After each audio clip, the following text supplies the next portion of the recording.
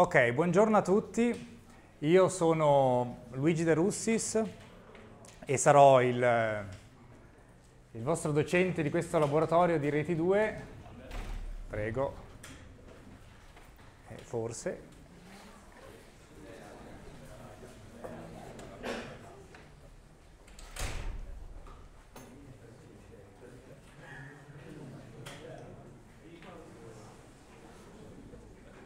Se vi servono sedie, qua ce ne sono almeno tre, che io non uso. Quindi...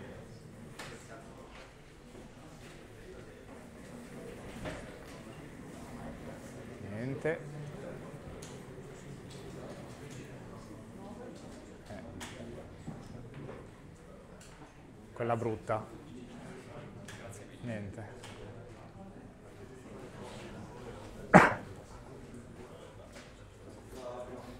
Ok, rifacciamo. Eh, buongiorno a tutti. Lo ridico per loro tre. Io sono Luigi De Russis, sono ricercatore del Politecnico di Torino e sarò il vostro docente per, per questo corso di laboratorio.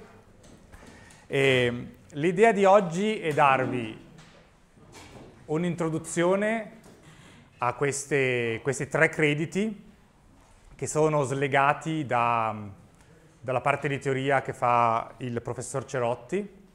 Per oggi non ci serviranno i PC del laboratorio, beh, neanche i vostri PC portatili, ovviamente non dovete chiuderli o spegnerli, eh, ma dalla prossima volta ovviamente sì. Sarà un corso, un mini corso, eh, abbastanza pratico, vedo alcune facce note dall'anno scorso, eh, e da due anni fa. e per loro dico che è un po' cambiato il corso rispetto all'anno scorso due anni fa. E già dal fatto che siamo qui oggi e non a maggio come succedeva negli anni passati. E,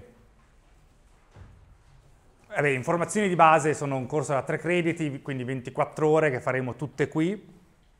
Io vi ho già detto chi sono, quello è il mio indirizzo mail di questa università a cui potete scrivere e aspettare risposta. E se avete bisogno di incontrarci fuori da, dall'ora di, di, lezione, diciamo, eh, va bene, basta che ci mettiamo d'accordo via mail e se abbiamo bisogno di un incontro di persona io tenderei a farlo il martedì intorno a queste ore, prima se non avete lezione, dopo se non avete lezione insomma, o prima delle 11 o dopo l'una. Tipicamente al martedì, altrimenti possiamo sfruttare quello che la tecnologia del 2019 ci, ci concede, e quindi Skype e quant'altro, se sono cose per cui non c'è bisogno di vedersi di persona.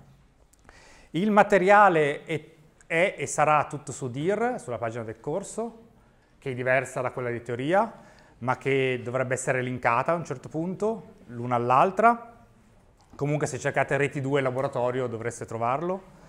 E io, come forse avrete notato, cercherò di videoregistrare tutto, in modo che se qualcuno non ci fosse, ci fosse qualche studente lavoratore, eccetera, le cose che vi racconto io, che facciamo insieme dal mio computer, diciamo, vengono videoregistrate e messe poi su una playlist su YouTube, accessibile a tutti. Quindi posso fare delle bellissime figure in mondovisione. Questa lezione di oggi è decisamente introduttiva. La mia idea è andare avanti fino alla fine, senza fare pausa, ma finire ovviamente molto prima dell'una. Eh, perché è solo introduttiva, dalla prossima volta inizieremo a fare qualcosa di più pratico, il corso sarà molto pratico, io vi racconterò veramente poche cose da un punto di vista teorico. Oggi è un pezzettino della prossima volta. E alcune cose teoriche per questo laboratorio ve le racconterà il professor Cerotti, altre vi darò io il minimo di informazione che ci serve per agire praticamente. E in questa lezione introduttiva vi faccio alcune domande a cui spero che qualcuno di voi risponderanno non possono rispondere quelli degli anni passati, perché sarebbe spoiler. E, che cosa vi immaginate, quali sono le vostre aspettative su queste tre, or tre ore, tre crediti, se ne avete, e che cosa pensate di questo, cosa vi aspettate che succeda qui, essenzialmente? Cosa vi aspettate di scoprire, cosa vi aspettate di imparare, cosa vi, salute, cosa vi aspettate di fare, di non fare?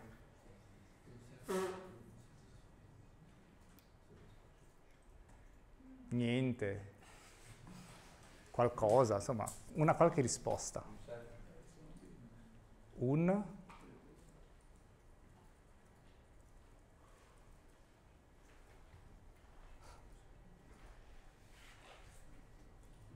Bisogna fare più spesso domande così, così si ottiene il silenzio completo, cosa che invece non si riesce a avere sempre.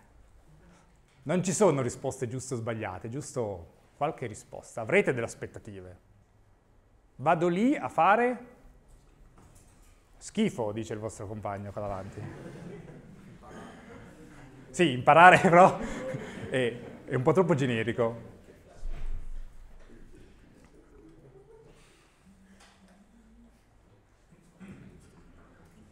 Sì, eh. Ok, a programmare un'architettura della comunicazione. Altri? Eh, cosa pensavate di venire a fare questa mattina? Al netto di imparare e di schifo. Il professor Cerotti ha accennato che guarderà l'internet delle cose.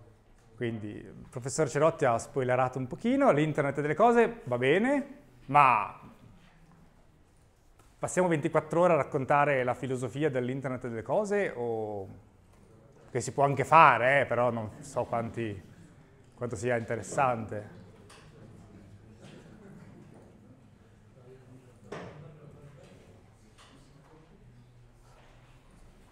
Non avete davvero idee. Siete arrivati qui con la mente aperta. Allora, facciamo una domanda forse un più facile. Quale di queste cose, diciamo, perché sono cose molto diverse l'una dall'altra. Voi conoscete, conoscete vuol dire ne avete sentito parlare oppure lo conosco molto bene. Per alzata di mano, così non dovete parlare. Quanti di voi conoscono Java? Fortunatamente tutti. Quanti di voi hanno o conoscono, hanno usato tecnologie web, HTML, CSS e JavaScript? State facendo un corso in parallelo a questo, vero? In C Sharp, che sarà in C Sharp, a un certo punto diventerà in C Sharp. Okay. Database e come interfacciarsi con Java. Allora, database, circa, che database? Ok, e come interfacciarsi con Java un database? Ok, ok, e come vi siete mai interfacciati a un database programmando? Come? PHP. Entity Framework. C Sharp. Che, che, poi non è così diverso da Java. Ok, gli altri mai usato un database da, da, da un linguaggio di programmazione? Qual, beh, GSP è Java. Sì, sì. Ok.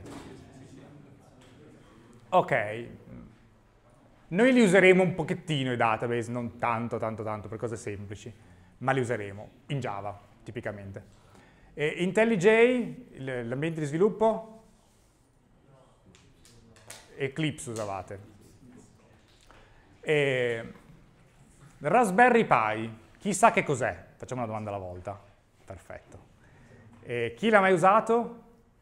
Ok. E MQTT, chissà che cos'è? MQTT. Non sapete che cos'è? Beati voi. Chi l'ha usato? Di conseguenza nessuno. REST?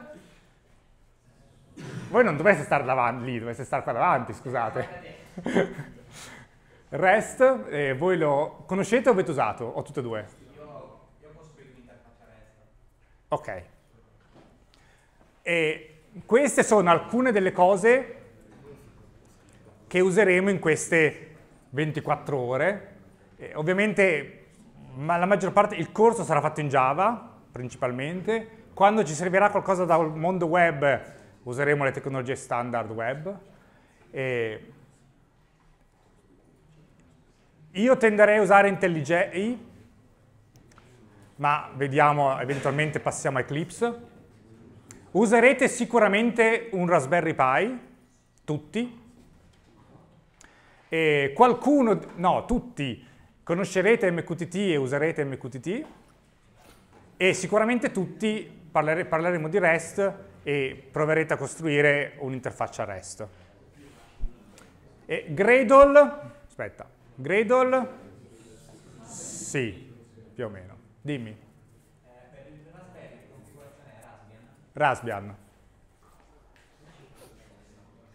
Allora, l'obiettivo del corso, di questo, di questo mini corso, di questo pezzo del corso, è quello di, come vi ha già detto il professor Cerotti, avere un laboratorio sull'Internet of Things, sull'Internet delle cose, e l'obiettivo è quello di imparare eh, caratteristiche e architetture e anche sperimentare caratteristiche e architetture che sono proprie dell'Internet of Things, sperimentando in maniera particolare con dispositivi reali, veri, mh? e con servizi che sono propri del mondo dell'Internet, de, del dell'Internet of Things e che sono servizi che si possono utilizzare oggi. Quindi non diciamo così, problemi giocattolo non da vendere al di fuori di, di dell'università, ma che utilizzano tecnologie vere, non costruite ad hoc per l'università. E l'obiettivo è quello di integrare competenze diverse e conoscenze diverse che già avete passato, che già avete acquisito nel corso di studi e che state acquisendo nel corso di programmazione web, che non si chiama programmazione web, si chiama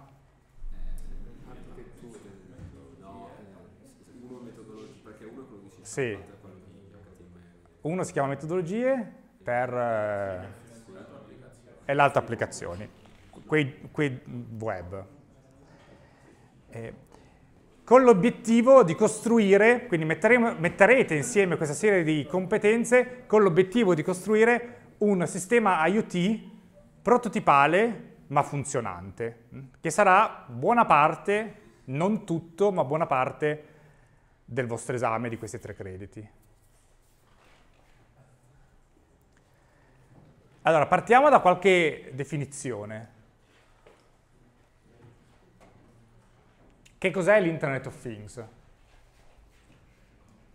Che cos'è l'Internet of Things?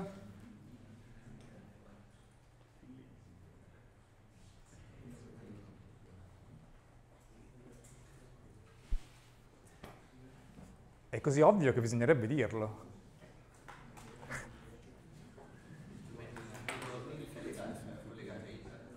Strumenti di tutti i giorni collegati a internet. Sì, va bene. Oggetti, chiamiamoli oggetti più che strumenti, che sono connessi a internet. E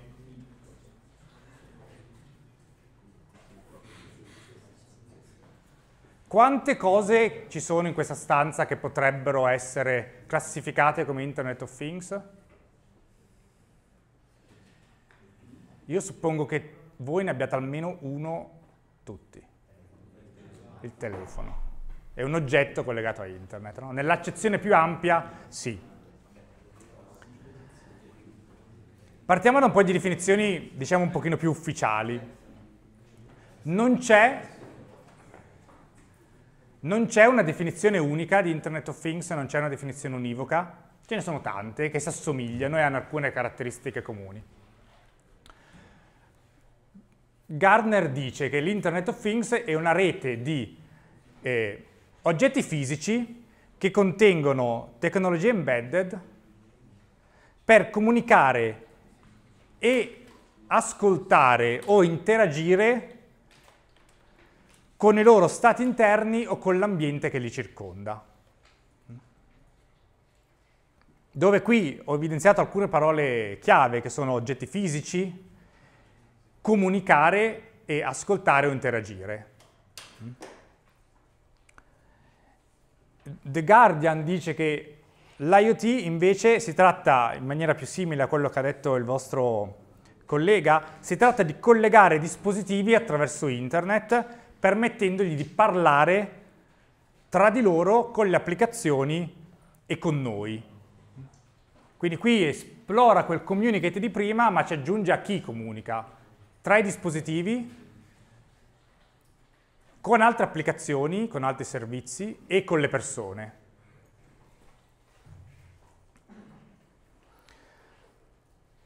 Altra definizione, la Internet of Things è una rete gigante di cose connesse che anche include le persone. E la relazione all'interno dell'Internet of Things può essere persona a persona, di cui l'oggetto diventa tramite per la comunicazione per, tra persona e persona, persona cose oppure cose cose, quindi in maniera simile a quello che diceva prima. L'IEEE, Internet of Things eh, Working Group, invece dice che l'IoT è una rete che collega, è un po' più preciso degli altri, è una rete che collega in maniera unico, uni, identificabile in maniera univoca cose a internet. E le cose hanno potenzialmente delle capacità di programmazione e hanno delle capacità di sensing, quindi di ascolto, di percezione, di rilevamento e attuazione sull'ambiente, agiscono, fanno qualcosa. E le cose possono essere, queste cose possono essere raccolte le informazioni su queste cose possono essere collezionate e lo stato di queste cose può essere cambiato da remoto, dato che sono collegate a internet, in ogni momento, in ogni luogo. E queste sono alcune di quelle cose di cui parliamo. Non c'è lo smartphone, ma... E, allora facciamo un altro un'altra chiacchierata, sperando di non parlare solo io. Che cosa sono queste cose? Cose. Sì, no, no, che cosa sono, cosa fanno? Il primo in alto, per esempio, questo. Che cos'è? Non è Alexa. È un termostato Nest. No. Questo qui come dice qualcuno, è un termostato Nest, quindi un termostato dell'Internet of Things. Nesta è una startup che è stata acquisita da Google, quindi attualmente è Google. Il secondo, Alexa. Non è Alexa, è l'Amazon Echo, che dentro ha come software, utilizza come Alexa come interfaccia vocale. Queste lampadine, non Alexa, Philips Hue, ok? Quindi lampadine della Philips che sono connesse, si accendono e spengono come tutte le lampadine e cambiano anche colore. Avanti, poi. Che cos'è una doccia? No, non spruzza acqua.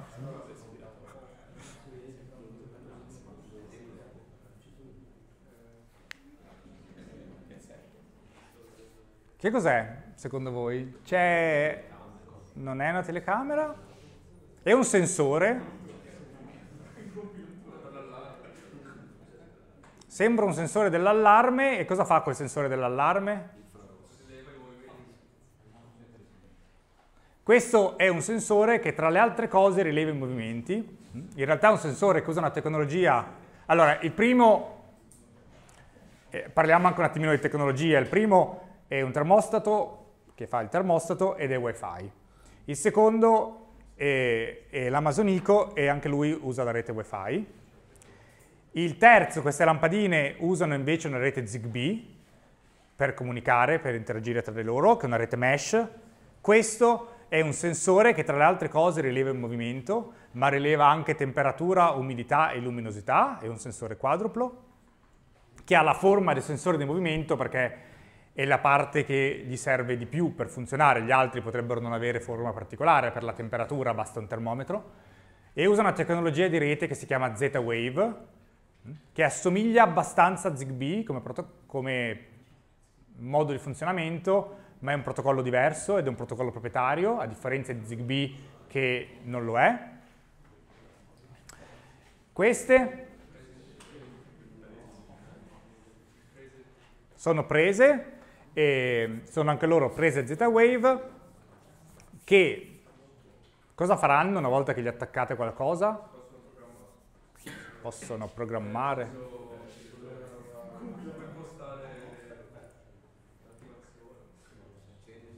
Si possono accendere e spegnere, ok? E in più vi dicono quanta potenza state consumando, l'oggetto collegato sta consumando. Questo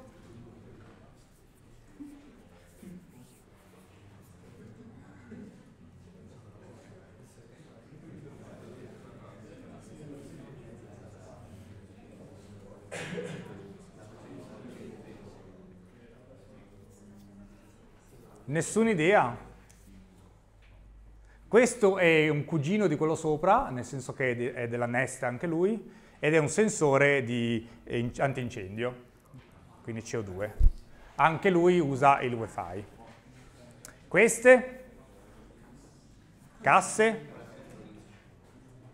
casse, casse della Sonos, anche loro sono Wi-Fi. Questo lo saltiamo per un attimo. Questo,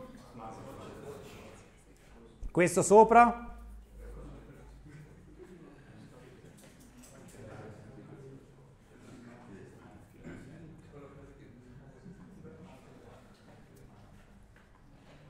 Che cos'è quello lì? È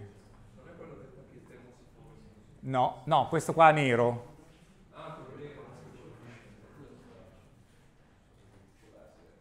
Sì, quello bianco a fianco è quello che attacca i termosifoni, ok. Quello nero è un braccialetto fitness della Jawbone, Bluetooth. Questo qui è il, la valvola termostatica per i termosifoni, anche lei Z-Wave in questo caso, in cui gli si può regolare la temperatura desiderata del termosifone, non dell'ambiente, perché sta sul termosifone. Questi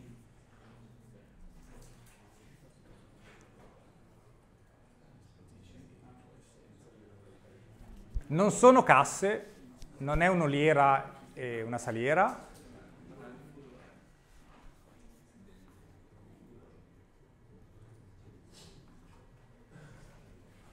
Sono sensori di temperatura, uno interno e uno esterno, e anche loro usano il Wi-Fi.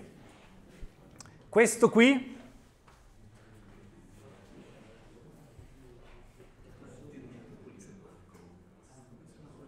Cosa sembra? No, non è il Comcast. Non è un microfono. Non è una videocamera, non ci sono videocamere qui, ve lo posso dire.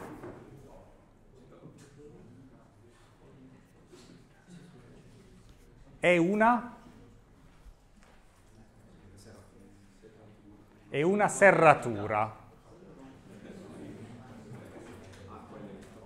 È una delle serrature elettroniche IoT, WiFi, che potete aprire la porta di casa vostra con lo smartphone voi e i ladri che vogliono derubarvi, ovviamente. Questo, questo dovrebbe essere abbastanza facile. È un, non è un telecomando, è più un... Cos'è? È un interruttore. Sono due interruttori diversi in un unico la caratteristica di questo è che utilizza una tecnologia che si chiama InOcean, che fa energy harvesting. Quindi tutti i dispositivi che avete visto finora hanno, o sono attaccati alla corrente o hanno una batteria che è da cambiare o da caricare. Il sensore, quello che vi dicevo sopra, ha una batteria, una pila, che si scarica ogni mese, ogni due mesi e poi da caricare. E anche la valvola termostatica, le altre cose sono attaccate alla corrente o hanno la batteria ricaricabile. Questo fa energy harvesting, vuol dire che lui non ha batteria dentro, ma quando premete gli date l'energia sufficiente per trasmettere il pacchetto necessario a dare il comando che gli serve. Quindi usa la, la forza che voi applicate sul bottone per, per accendere il, il trasmettitore e inviare il comando che gli serve. Questo, questo è un parente di quello della prima riga, nel senso che più o meno è la stessa cosa, è un altro di quei sensori come negli antifurti, hm? stavolta solo, solo movimento, hm? tipo quello che c'è nei bagni per accendere le luci. Queste qui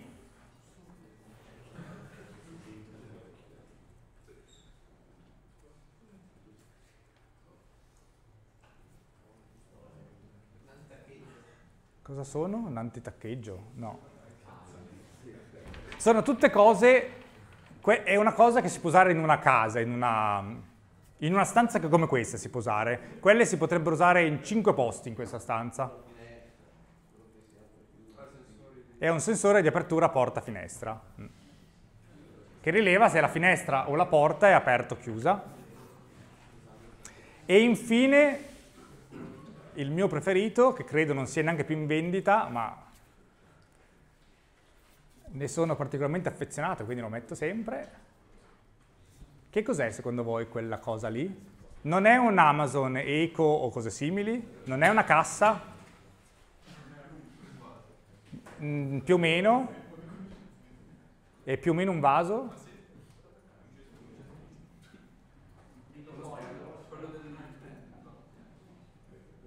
Eh, è una specie di thermos, è un bicchiere.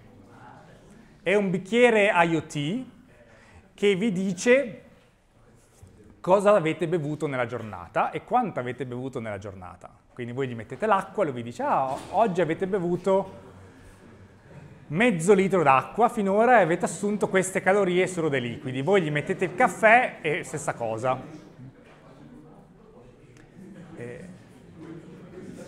Come immaginerete, come immaginerete, non mi ricordo neanche come si chiama, ma è andato fuori produzione, ha avuto un così grande successo che così tanta gente l'ha comprato che hanno chiuso per fallimento. E questo per dire che di cose, di dispositivi dell'Internet of Things, ce n'è davvero per tutti i gusti e quanti ne vogliamo. Alcuni di quelli li abbiamo qui, li useremo, non la tazza, non il bicchiere, e neanche il termostato, e... ma ce n'è davvero per tutti i gusti. Probabilmente se aveste un'idea più stupida che del mondo, probabilmente ci sarebbe la versione IoT di quella cosa, basta cercarla.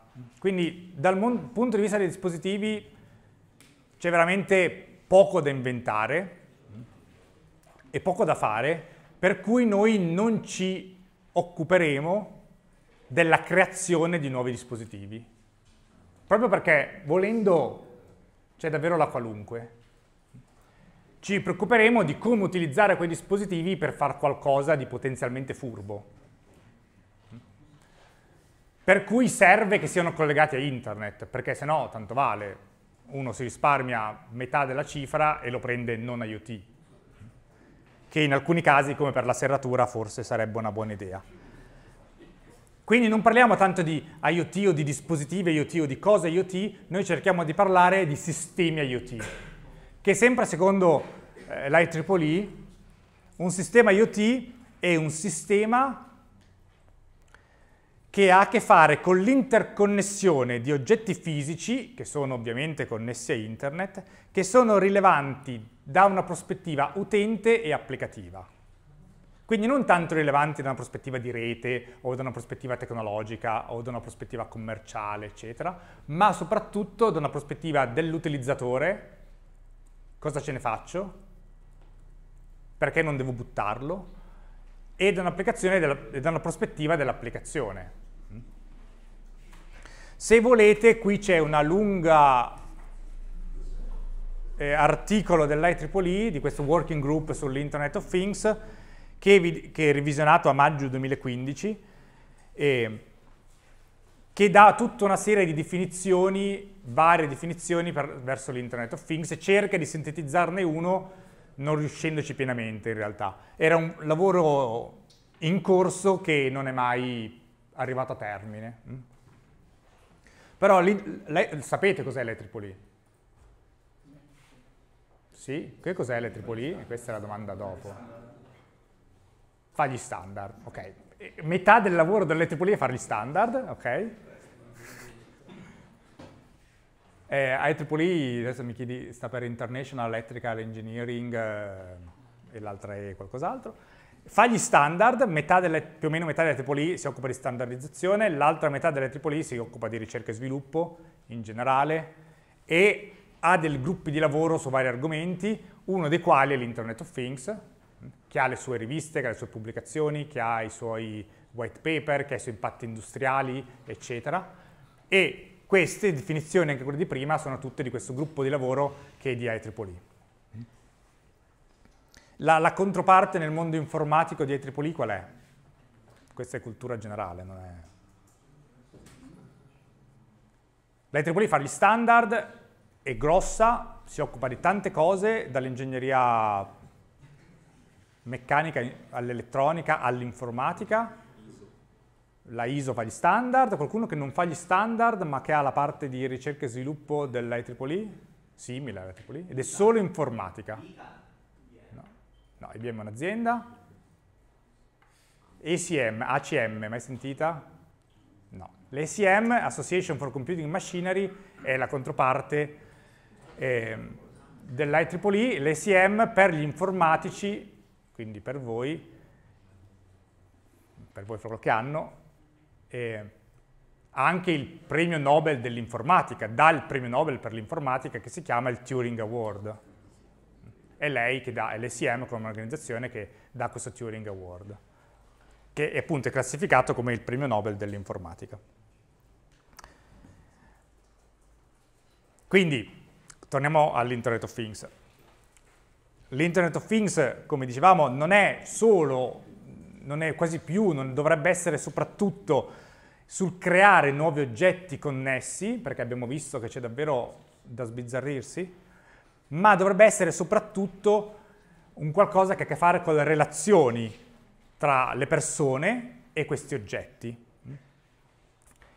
Relazioni che cercano di rispondere a domande tipo quelle, no? Qual è il goal di questi oggetti connessi? Sono connessi perché potevamo metterci un chip dentro e farli parlare wifi o sono connessi perché in realtà ci servono davvero?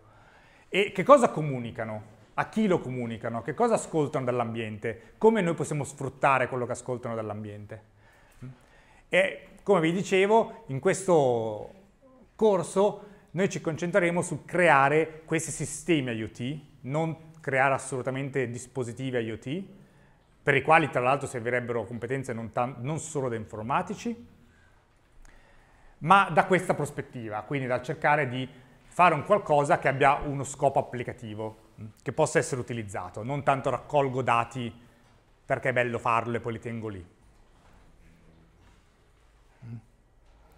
Quindi l'approccio che seguiremo in queste 24 ore è sicuramente un approccio pratico,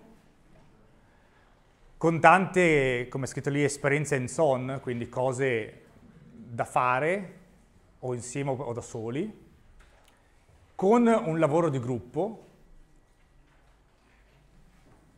che è uno spoiler verso il dopo, che sarà da fare, che sarà una parte importante, non l'unica, ma una parte importante dell'esame. E ci concentreremo su aree applicative, più che sulla tecnologia in sé. E, vabbè, lo schedule più o meno lo sapete, appena anche il professor Cerotti riesce a capire quando e come mettere le sue ore, eh, saremo più contenti. Noi per ora, e direi che in maniera confidente, abbiamo lezione il martedì qui dalle 11 alle 13. E salteremo alcuni martedì, quando io non ci sarò, e quindi voi non venite qui a fare niente, e avremo invece un giovedì mattina, sempre dalle 11 alle un giovedì mattina, non vi dico sempre dalle 11 alle 13 perché non ne sono sicuro, ma un giovedì mattina qui in aprile, uno solo. Tutti gli altri saranno martedì. Controllate comunque sempre il calendario sul nuovo UPO Planner e per essere sicuri io comunque vi darò poi avvisi se cambierà qualcosa, ma al momento lo schedule è quello lì. Oggi, il 19, il 26, il 2, il 9 aprile, l'11 aprile che è quel giovedì, il 30, il 14, e poi dopo l'11 ci sono le vacanze di Pasqua, il 30 poi non ci sono io, il 14, il 21, il 28, il 4 e l'11 giugno. E queste sono tutte le volte che in modalità beta ci incontriamo. E il corso, come vi dicevo, ha un approccio pratico e qui, durante queste ore, più o meno faremo queste tre attività, diciamo, no? Eh, lecture, che vuol dire lezioni, non necessariamente come oggi, anzi sicuramente non come oggi, ma momenti in cui comunque io parlo, io faccio qualcosa sul computer, voi auspicabilmente ascoltate e, e fate anche voi sul computer, ma insieme, che sono la prima colonna di questa slide. La seconda colonna che sono esercizi, ore in cui io invece sto zitto e non faccio, e fate voi degli esercizi sulle cose che abbiamo visto, sperimentato prima, ovviamente, e poi l'ultima lezione L'ultimissima lezione sarà quella che chiamiamo lavoro, quello che chiamo eh, lavoro di gruppo supervisionato. Quindi saranno due ore in cui voi potrete lavorare in gruppo verso, altro piccolo spoiler, il progetto che vi servirà per l'esame e avrete quelle due ore per iniziare a lavorarci qui o per, la, per continuare a lavorarci qui e se avete domande, problemi, dubbi, quelle due ore sono il momento ottimo per farli perché io ovviamente sarò qui in quelle due ore esclusivamente per rispondere alle vostre domande, ai vostri dubbi, di natura più tecnica o più pratica o più relativa all'esame. Questo è il piano, diciamo così, vediamo come si evolve. E... Vabbè, come vi dicevo già, per la maggior parte cercheremo di utilizzare eh, competenze che già avete da altri corsi, incluso Java, eh, Git, e Git è uno di quello, e integrando ovviamente, essendo un sistema IoT, integrando necessariamente differenti tecnologie, differenti componenti hardware e software insieme, di nuovo verso un unico diciamo, obiettivo applicativo. Queste saranno alcune delle cose che useremo. Eh, useremo GitHub e quindi di conseguenza Git. E io oltre a videoregistrarmi, eh, tutte le cose che comunque faremo in aula le metterò su Git in un'organizzazione dedicata a questo corso, in modo che voi abbiate tutto in un unico posto, che sarà anche linkata da dir, ma almeno lì. Useremo Java, useremo JSON, JSON, qualcuno lo conosce? Più o meno, ok, grazie. E useremo un database che si chiama RadyB, che si chiama SQL, che sia SQLite, non importa. Probabilmente IntelliJ, come vi dicevo prima, HTML, JavaScript, jQuery. Useremo le Philips Hue, mm, uno di quei dispositivi IoT che vi ho fatto vedere prima, quelle le useremo, ne abbiamo qui tre lampade e le useremo. E useremo sicuramente il Raspberry Pi. E vedremo qualcosa sul mondo Z-Wave come protocollo, lo vedrete anche in aula, come protocollo di rete. Sicuramente faremo, vedremo REST da un punto di vista teorico e anche poi da come progettare un'interfaccia REST come anche in Java, diciamo così. Useremo MQTT, e, e useremo Spark, che nel caso lo cerchiate su internet non è Apache Spark, non c'entra niente con Apache Spark, è Spark Java, è un micro framework web. Perché? Perché ci servirà a tirare su un server web a un certo punto, anche solo per la parte REST, e in Java usiamo GSP, ma mi rifiuto di usare GSP nel 2019, e anche Oracle dice non usatelo, ma eh, questo non tutti l'ascoltano, e non ci mettiamo a imparare come usare Spring, che è un framework bello ma enorme in Java, e useremo questo micro framework che è molto semplice e modulare, quindi useremo solo le cose che ci servono e installeremo solo le cose che ci servono per i nostri obiettivi, per gli esempi che faremo. Ok. Domande fin qui?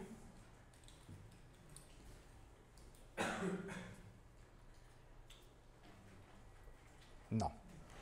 Parliamo dell'esame, che credo sia un argomento di abbastanza interesse, no?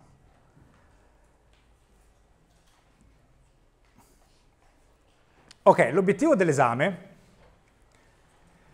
di questi tre crediti è di nuovo di valutare la, la, vostra capacità di progettare e realizzare un sistema IoT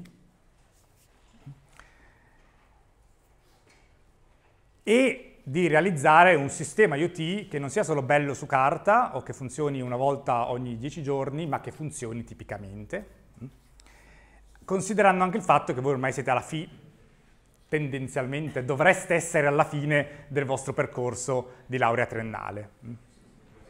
Quindi dovreste avere ormai un certo background e una certe competenze che avete acquisito durante questi almeno tre anni, due, due anni e mezzo in su. L'esame consiste di tre parti.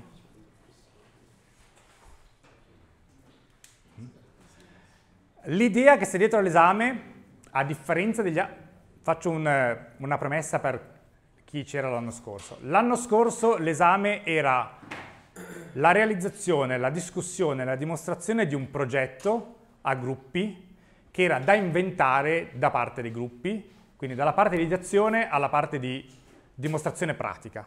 Quello era l'esame.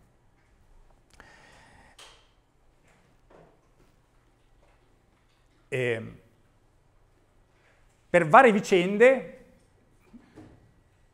ho, ho, deciso un po' di cambiare e in parte alleggerire il, la parte di progetto come tipo di lavoro, quindi non ho aggiunto a quello che si faceva l'anno scorso, ho tolto da lì e ho aggiunto la riga sopra, quindi il progetto finale rimane, è un progetto da fare a gruppi di 3 o 4 persone, non 2, non 5, 3 o 4 persone. È un progetto che vale 16 punti, sul, sono tutti obbligatori ovviamente, se no non arrivate alla sufficienza, e un progetto che vale 16 punti sull'esame. Non è arrivate alla sufficienza perché non, non, non vi promuovo, è più facile. E 16 punti sull'esame. C'è poi una dimostrazione e discussione del progetto da fare il giorno dell'esame a gruppi, che sarà a gruppi l'individuale perché mi aspetto che nella discussione, no, nella discussione del progetto deve emergere il contributo individuale verso il progetto, chi ha fatto cosa, in modo che non sia una persona che lavori e tre che guardano, e l'esame, il giorno dell'esame, vale 6 punti. Prima ci saranno da consegnare tre esercizi. Tre esercizi che non vi voglio fare fare a casa, che sono questi tre esercizi qui, tolto quello dove c'è scritto 1. Quindi laboratori che io vi darò da fare qui in due ore e che voi auspicabilmente finite in queste due ore e caricate, porredo su dir, e quello vale come una consegna di un quell'esercizio. Se non li finite qui o non siete qui quel giorno perché c'è sciopero dei treni, avete mal di pancia o qualcos'altro, avete comunque una settimana di tempo per fare questi esercizi e consegnarli.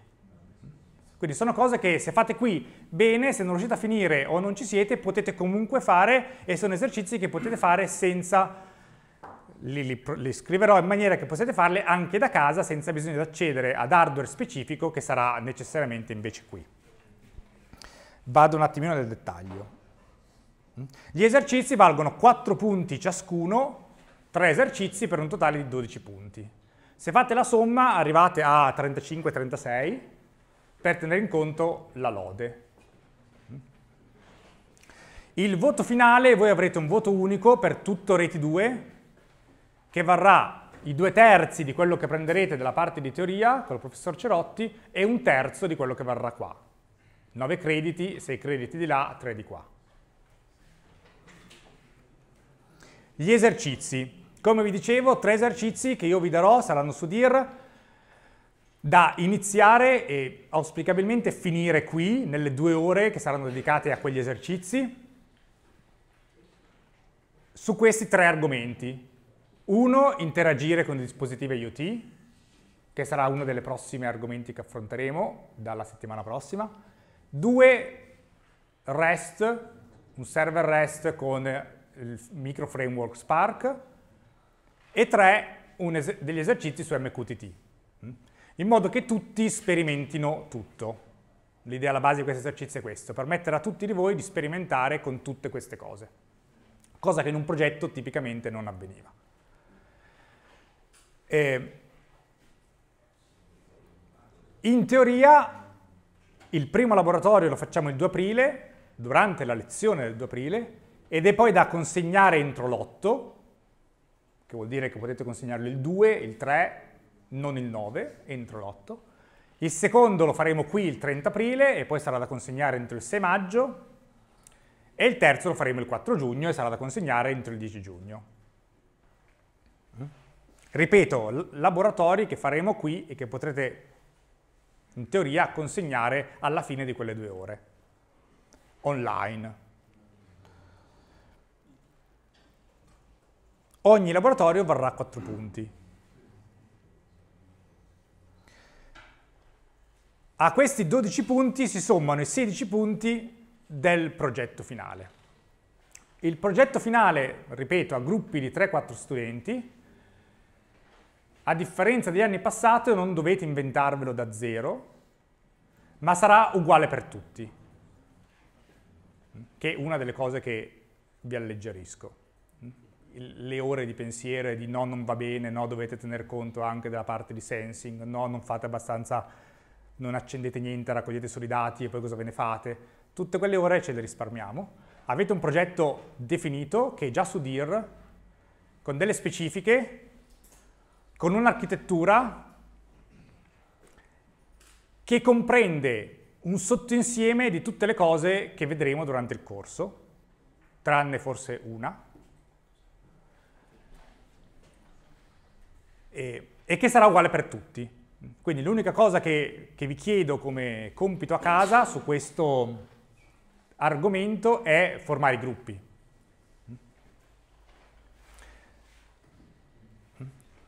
E I gruppi devono essere formati in questo mese, in modo che sappiamo poi chi lavora con chi. C'è un documento condiviso linkato da DIR in cui indicare i gruppi e un nome del gruppo, per non chiamarlo gruppo 1, 2, 3, 4, da fare entro il 2 aprile.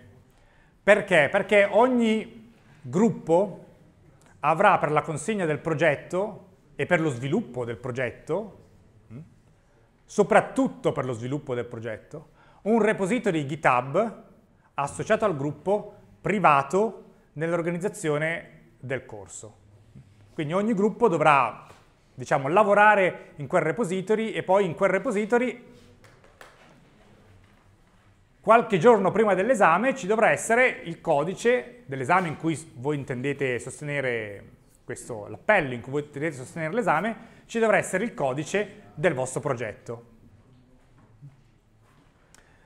E, vabbè, poi ringraziamo GitHub che ci ha dato un numero illimitato di repository privati per questo corso.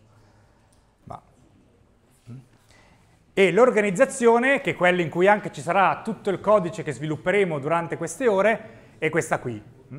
github.com slash reti2vc-2019.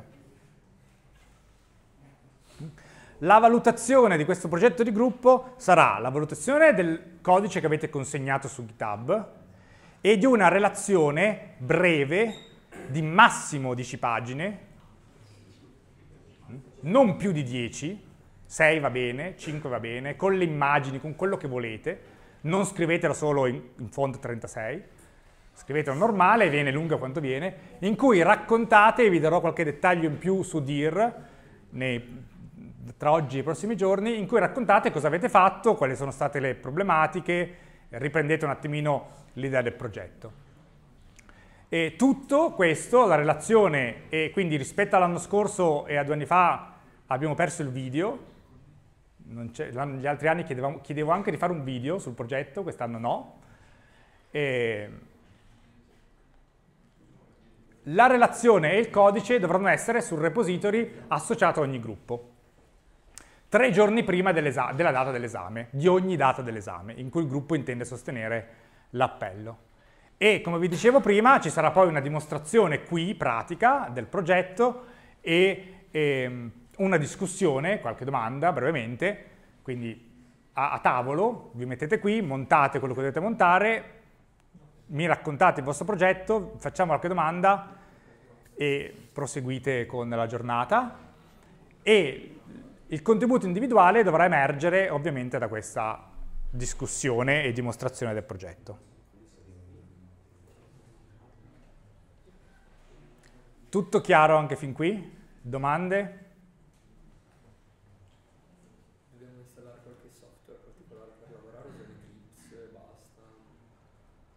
Eh, direi IntelliJ. Java, almeno 8, almeno Java 8 e IntelliJ. Altre domande?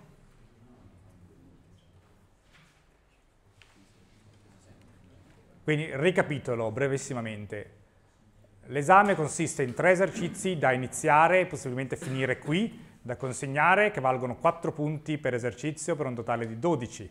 Dopodiché c'è un progetto che farete a gruppi, 3-4 persone, i gruppi li scegliete voi. Progetto predefinito che adesso vi racconto brevemente, ma ci sono 4 pagine su DIR, 4 pagine tipo Word su DIR che raccontano il progetto, quindi dovrebbe essere sufficiente leggere quelle, ma vi do due parole, due informazioni. Il progetto, la parte di sviluppo, vale 12 punti, 16 punti, ovviamente un gruppo da 4 avrà più roba da fare di un gruppo da 3, è previsto nelle specifiche del progetto, perché c'è una persona in più che potenzialmente lavora, e infine c'è una dimostrazione e discussione orale del vostro progetto da fare il giorno dell'esame, uno dei giorni degli appelli, dove voi prendete anche il voto finale di tutto, in eh, tempo diretto, diciamo, in tempo reale. Progetto finale. Policy che sono anche riportate sul, su DIR, nella pagina del progetto. Ogni progetto deve essere realizzato in maniera indipendente da ogni gruppo, che è un modo lungo per dire non copiate, perché poi finisce male per voi. Soprattutto se poi uno se ne accorge. Eventuali scelte di progettazione o implementative che avete fatto come gruppo dovranno poi essere riportate nel report finale. E il progetto dovrà includere tutte le componenti software e hardware che sono elencate nel documento di specifica del progetto e il codice sorgente che consegnerete deve essere, lì c'è scritto ben scritto e appropriatamente commentato, diciamo leggibile, degno, diciamo, di persone che sono al terzo anno di informatica e non al terzo anno di agricoltura, senza nulla togliere a chi fa agricoltura. I componenti software del progetto devono essere funzionanti dentro un ambiente di sviluppo Java, quindi io devo poterlo scaricare, premere run e vedere che fa qualcosa, magari non nei collegamenti con la parte hardware, perché magari non c'è, ma il software non deve dare errori di compilazione banalmente. E, ecco, questo, e, e beh, i gruppi possono, dovrebbero, è consigliato che lavorino dai propri portatili invece che da questi PC qui, quando possibile, se no questi PC qui prima di martedì prossimo avranno tutto il software necessario installato e all'interno del progetto i gruppi potranno scegliere liberamente sia i componenti che riguardano l'interfaccia grafica, HTML, CSS, JavaScript, uso Bootstrap o non uso Bootstrap, come volete e, e più roba da metodologie e applicazioni web che non di questo corso, quindi usate quello che conoscete o che vi fa più piacere usare. E al di là di quello che succederà sul Raspberry dove diciamo che C Sharp non è proprio il linguaggio ottimale, per quanto riguarda componenti server del progetto al di fuori di quelle del Raspberry, ugualmente potete usare il linguaggio e il framework che preferite. Quindi io vi farò vedere tutto in Java con Spark, ma se voi vi trovate meglio con eh, C Sharp e... cosa usate con C Sharp? Quello che userete con C Sharp potete anche usare quello, non c'è problema, per quelle componenti lì. Visto che fate questo corso in parallelo, mi sembra stupido non vincolarvi solo su quello che facciamo qua in 24 ore rispetto a quello che fate là in molte più ore. O che avete fatto in precedenza. L'importante è che sia un linguaggio conosciuto ai più, che vuol dire che C Sharp va bene, che vuol dire che JavaScript va bene, che vuol dire che Python va bene, che Java va bene, che Ruby va bene. E fermiamoci lì, direi. Se, se, potete, se riuscite a farlo in C, o in C++ va bene, e, ma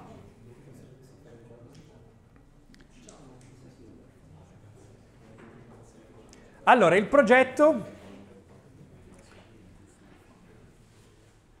è pienamente descritto in questo documento condiviso, che è anche linkato da DIR. Come vi dicevo, i gruppi da quattro persone hanno qualche eh, requisito in più da soddisfare, per tener conto che c'è una persona in più. E l'obiettivo del progetto è quello di realizzare diciamo così, una stazione BART intelligente. Sapete cos'è BART? Non quello dei Simpson, ovviamente. No.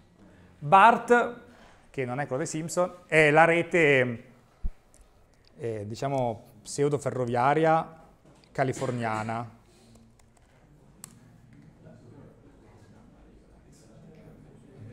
È la Bay Area Transit, Rapid Transit è una rete ferroviaria che collega buona parte della Bay Area in California.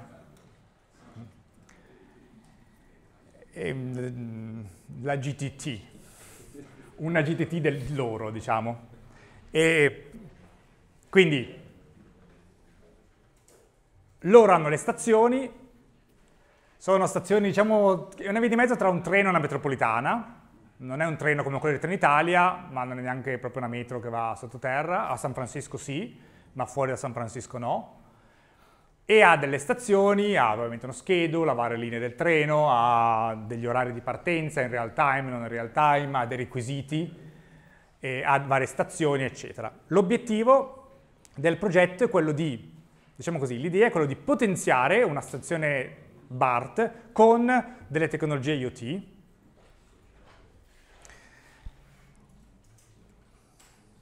per supportare i passeggeri per, eh, mentre aspettano, mentre prendono i vari treni. Mm? Quindi nelle specifiche ci sarà scritto di eh, realizzare una stazione BART, non vi verrà scritta quale stazione BART. Mm? Potete sceglierla voi tra le varie stazioni BART che ci sono, e con alcuni requisiti mm? e con un'architettura che è questa. Questa è l'architettura per un gruppo da 4. L'architettura per un gruppo da 3 gli manca un pezzo.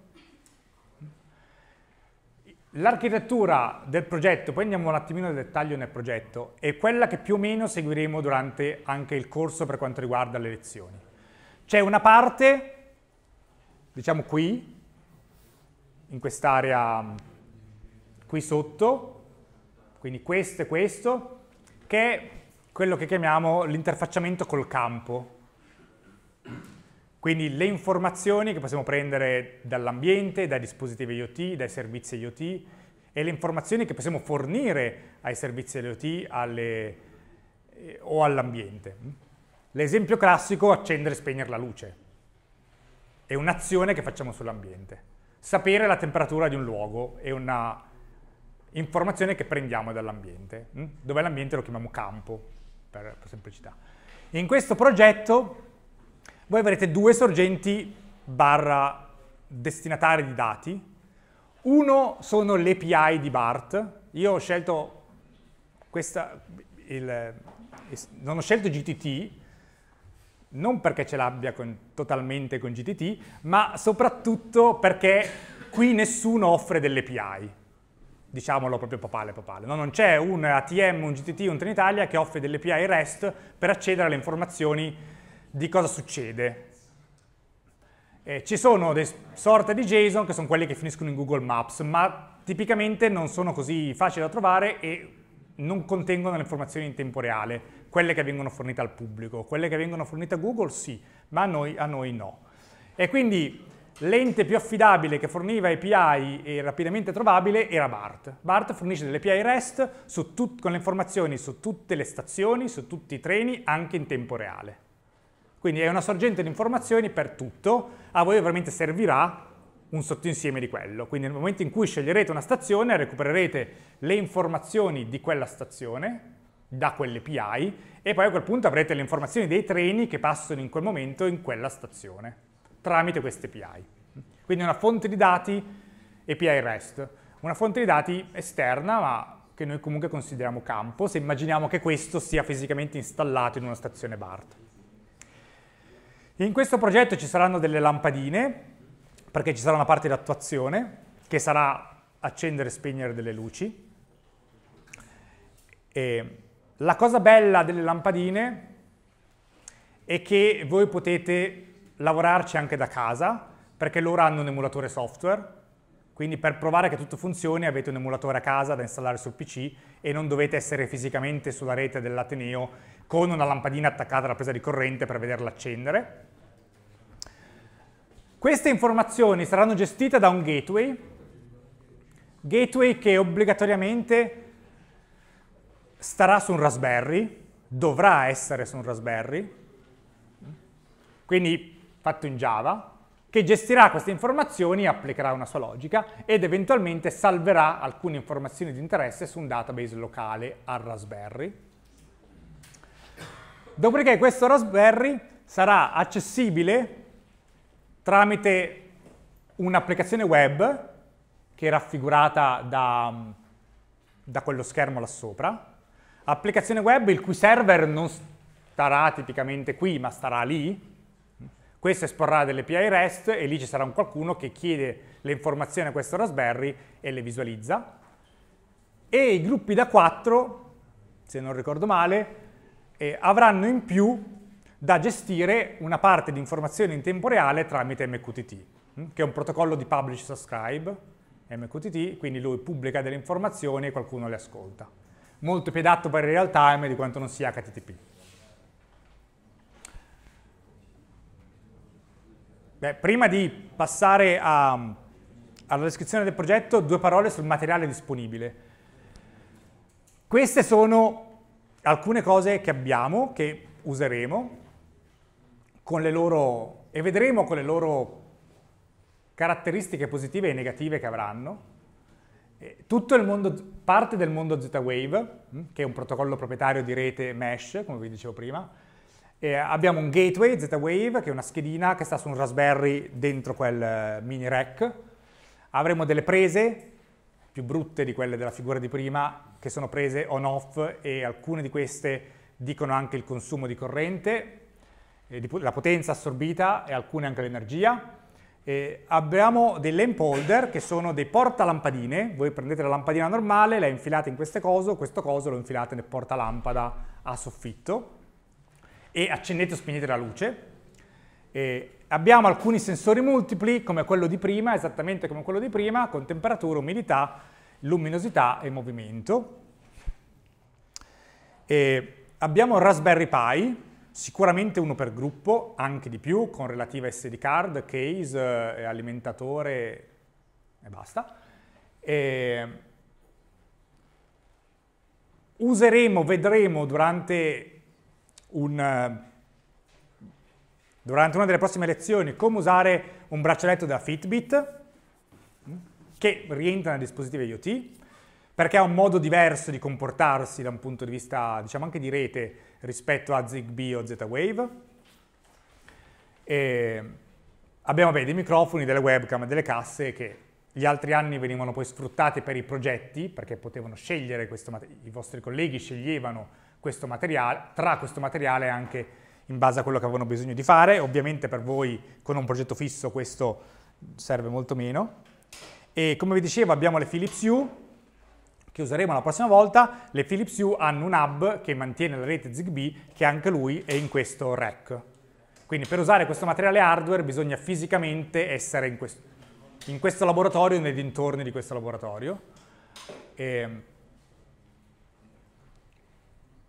e li vedremo, li utilizzeremo soprattutto queste, queste sono da usare anche nel progetto ed ecco perché la dimostrazione serve essere qui a farla perché se dovete accendere o spegnere delle lampadine è importante essere qui per poterle accendere e spegnere sul serio. In fase di sviluppo potete usare l'emulatore, in fase di dimostrazione del progetto è meglio, come dire, fare la migliore figura possibile anche in modalità dimostrativa, quindi non far vedere schermo, un qualcosa sullo schermo del PC, ma far accendere il dispositivo vero.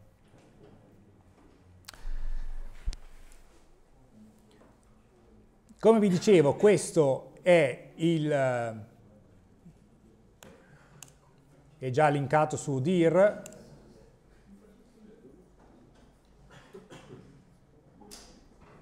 questo è il documento sul sull'esame che ripete,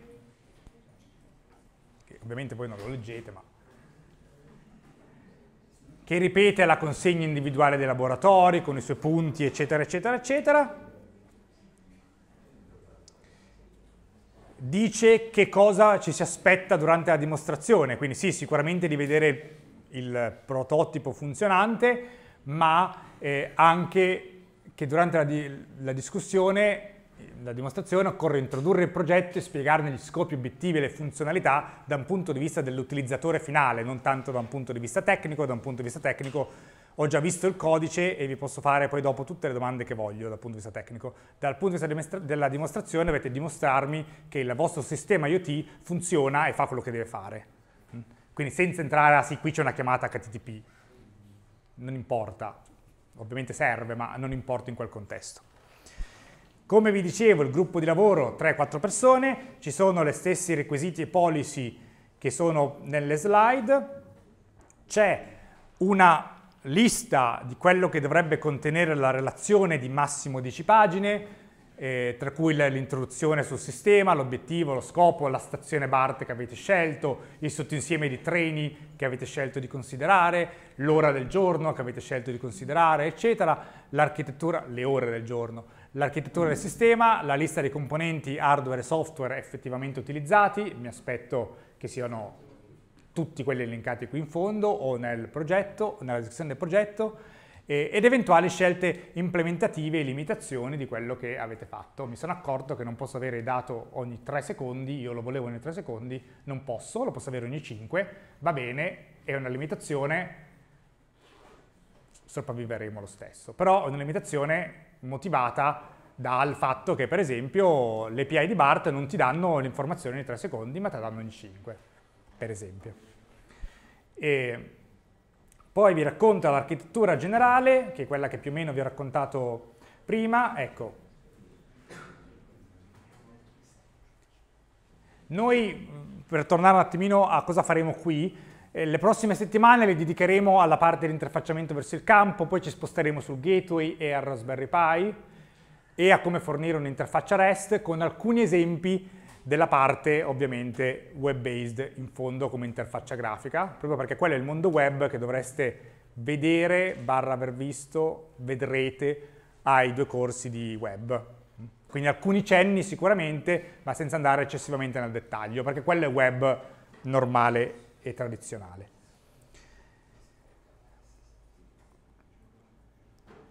E qui c'è la descrizione del progetto. Quindi si vuole realizzare una stazione BART intelligente, c'è il link a BART, la stazione conterrà al suo interno un gateway che dovrà gestire le informazioni sulla stazione stessa, disponibilità di parcheggi, c'è un parcheggio o non c'è un parcheggio, dai dati che ti dà BART. Eh, ci sono posti, ecco, in California, qualcuno è mai stato in California? No, perché sennò conoscevate BART, giustamente. Eh, un problema che hanno su quei treni, che poi è il problema su cui si concentra buona parte di questo progetto, è dove metto la bici. Posso salire sul treno con la bici? Tutto il mondo relativo alla bici. E allora, alcune stazioni BART hanno gli stalli per le bici, più o meno chiusi, più o meno sicuri. In molti casi la persona si carica la bici sul treno e a destinazione la prende e torna a pedalare fino ad arrivare a, a Google o a Microsoft, a Microsoft no, ad Apple piuttosto che Facebook, no? al loro luogo di lavoro, immaginando che sia di questo settore. E questo è un problema perché a un certo punto il regolamento di BART dice sul treno affollato le bici non salgono. Quindi se tu sei lì con la bici e il treno affollato non puoi salire. E tipicamente la gente non sale, perché la regola dice così, e e quindi aspetta il treno dopo, che magari arriva dopo 5-6 minuti, però aspetta il treno dopo. Che se di nuovo affollato, punta capo, dovrebbe aspettare quello dopo. Allora, quello che si vuole più o meno realizzare qui, poi lo leggiamo con un pochino di calma, è un sistema, diciamo così, di prenotazione alerting per soprattutto i passeggeri, passeggeri e passeggeri con bici.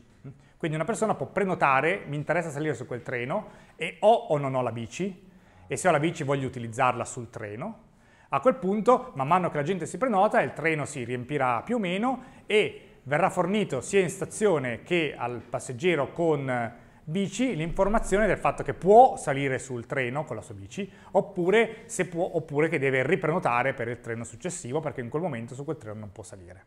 Essenzialmente è questo l'obiettivo, permettere ai ciclisti di sapere con anticipo se andare lì aspettare il treno perché possono salire oppure no. Eh, quindi eh, questo sistema, questo gateway dovrà gestire questi tre tipi di informazioni. Le informazioni statiche sulla stazione, ci sono parcheggi, non ci sono, eccetera. Ha uno stallo per le bici o no.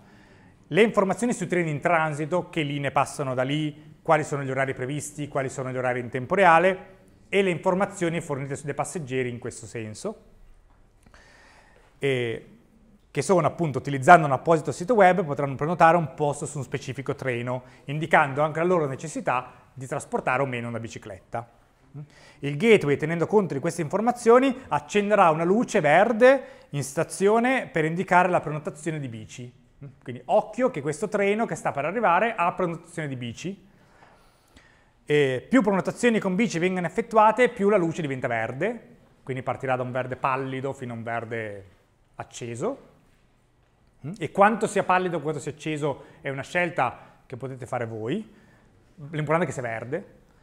E inoltre il gateway, quello su Raspberry, dovrà stimare quante persone si troveranno su uno specifico treno tramite le prenotazioni che hanno fatto e nel vostro caso ovviamente saranno prenotazioni che farete sempre voi e quindi metterete, immagino, delle soglie, soprattutto per la dimostrazione, tipo 5 persone erano riempito il treno una roba così, perché sennò dovremmo cliccare 47 milioni di volte prenota, prenota, prenota, prenota, per avere un treno pieno. Quindi scalate il progetto in base alle necessità del momento.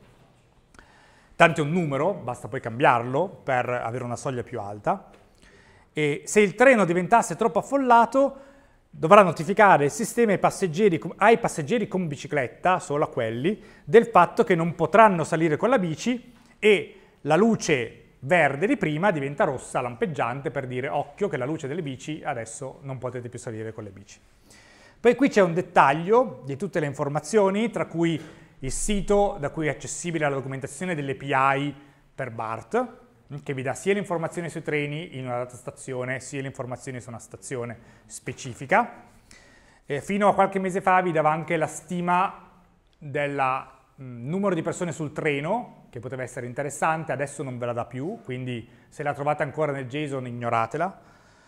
E con alcune specifiche che girano intorno, che specificano meglio questo, questo concetto di luce verde, luce rossa, prenotazione e non prenotazione. Le cose che voglio indicare sono i gruppi da 4. Quindi i gruppi da 3 devono fare quello, quello tutto, dove c'è scritto gruppi da 4 vuol dire che i gruppi da 3 possono ignorarlo e, e quella è una cosa che deve fare solo il gruppo da 4. In particolare la cosa che ho trovato, ma forse ce n'è un'altra che non vedo più, e il gruppo da 4, nel, solo il gruppo da 4, nel caso in cui il treno diventi troppo affollato, sempre con questa soglia a scelta del gruppo, 5 persone, 6 persone, il gateway deve notificare via MQTT non via REST, non via batte la pesca, via MQTT, al viaggiatore con bici l'impossibilità di caricare la sua bici e chiedergli se vuole cancellare la prenotazione o salire senza bici, tramite una sorta di chat da realizzarsi con JavaScript e MQTT. E questo esempio, un esempio molto simile di utilizzo MQTT in JavaScript, lo vedremo comunque in aula. L'idea è che il progetto, la mia idea, poi vediamo se va a buon fine, è che il progetto, le componenti base del, progetto, base del progetto siano comunque le vari pezzi, le varie esercitazioni, i vari eh, esercizi, vari, le varie cose che vi mostrerò in aula, siano le varie componenti base del progetto che voi poi dovrete ovviamente mettere insieme e adattare al contesto specifico, perché io ovviamente non userò l'esempio della stazione, della stazione e non userò le API di BART per nessuno degli esempi. e c'è anche qualche informazione sul tipo di dati, per esempio, da mettere sul DB. Eh, il gateway responsabile di memorizzare l'associazione tra viaggiatori, treno, bici, eccetera. Perché l'idea, l'architettura, qui manca un pezzo in questa architettura, manca il pezzo che questa parte da qui in giù, questo pezzo qui, gateway, database e Philips U, siano replicate potenzialmente in ogni singola stazione BART mentre questo è un servizio comune a tutte e quelli lì sopra anche. Quello la persona che a casa, dovunque sia, può accedere alla stazione 1, alla stazione 2, alla stazione 3. Quindi questi progetti che farete voi in un certo senso è come se ognuno di voi implementasse una diversa stazione BART da andare poi lì sul posto e, e installare fisicamente nella stazione, mentre le parti più web sono comuni a tutte le stazioni BART. Quindi questo gateway esporrà, per esempio attraverso HTTP, delle sue API e l'interfaccia web server, diciamo il server web, accederà alle varie API dei vari gateway, che nel vostro caso sarà uno solo per gruppo, alle informazioni che gli servono. Però l'architettura in un certo senso può scalare su molteplici stazioni, questa stessa architettura. E questa stessa architettura è un'architettura tipica, molto tipica, del, dell'Internet of Things, dove ci sono dispositivi, dove ci sono servizi che tipicamente parlano REST su HTTP, vabbè, dove c'è un, un, database che non necessariamente SQL, ma nel nostro caso ci va più che bene, dove c'è un'interfaccia, una dashboard, un qualcosa che agisce sulle API REST fornite dal, dal campo e MQTT per inviare informazioni in maniera più snella, non storica, e in tempo reale. E qui ovviamente c'è un mini elenco di hardware da utilizzare per tutti i progetti che sono le lampadine, il Raspberry Pi che vi verrà fornito e dove però voi programmerete in Java, quindi adesso per chi non l'ha mai usato il Raspberry Pi è un computer Linux essenzialmente, quindi se, se funziona sul vostro PC è facile che funzioni anche lì, non è che avete proprio bisogno di sviluppare al 100% per questo tipo di applicazioni lì sopra. No? Poi dovrà essere fatto il deploy sul Raspberry, ma è un PC, vedetelo come un, un mini computer. E, e, poi potete ovviamente utilizzare un computer che sia quello personale o quello del laboratorio, soprattutto per mostrare la parte web, in quanto il Raspberry Pi non ha, si può attaccargli un monitor, ma nativamente diciamo, funziona e funziona anche bene senza monitor, senza tastiera, senza mouse. Comunque queste quattro pagine sono sia nelle slide che linkate su DIR.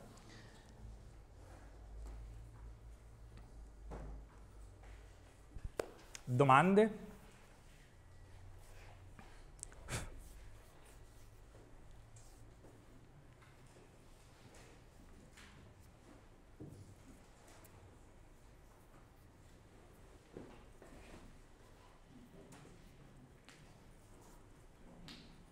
Allora, se non avete domande, eh,